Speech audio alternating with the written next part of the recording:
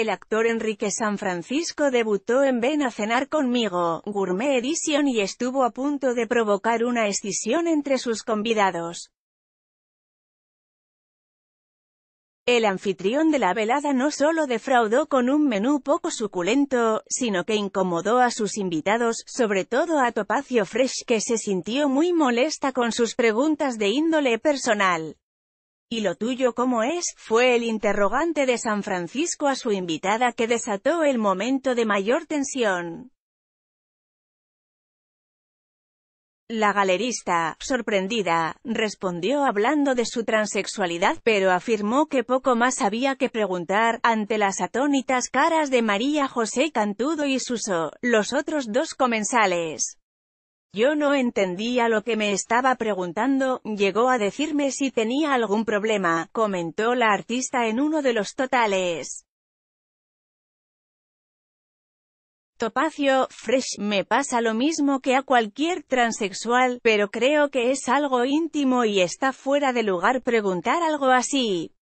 Pero durante la velada, la amiga de Mario Vaquerizo y Alaska fue muy generosa con su contestación, me pasa lo mismo que a cualquier hombre o mujer transexual, eligen un género diferente al sexo con el que han nacido, pero creo que es algo íntimo y está fuera de lugar preguntar algo así, explicó Fresh.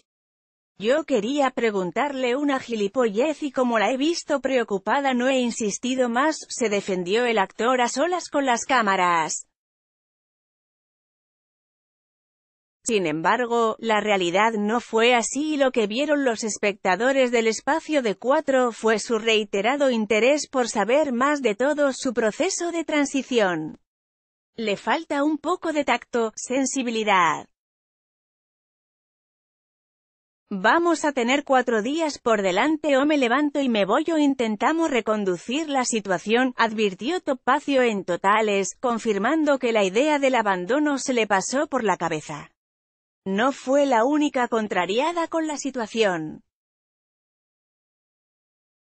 El rostro de Cantudo denotó perplejidad, mientras que Suso se encargó de cerrar el tema preguntando al anfitrión por su fama de fiestero.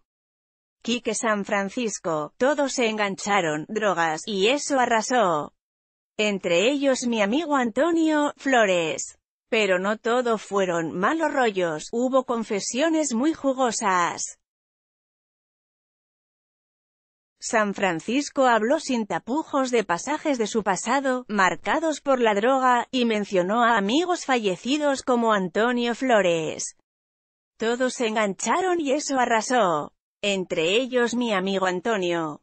Punto. Yo no me arrepiento y volvería a coger el mismo camino sabiendo que al final tengo la opción de corregirlo, subrayó, para pasar más tarde a contar anécdotas de su relación con Rosario Flores y de su actual vida en un hotel.